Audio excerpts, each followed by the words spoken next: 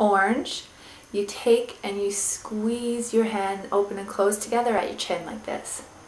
Orange. Almost like you're doing the milk sign but at your chin. And just think that you're squeezing an orange right here. Orange. That's right, Bibs.